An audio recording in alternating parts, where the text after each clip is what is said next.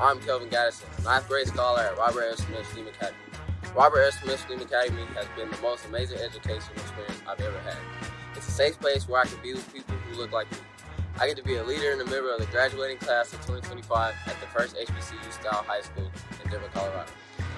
I'm Alice Littlejohn, a ninth grade scholar at Robert F. Smith STEAM Academy. This school is one of the best schools I've been to out of my 14 years. We learn about black history and have enrichment classes where we learn about finances and how to manage our money. I'm so glad to be a part of the founding class of 2025.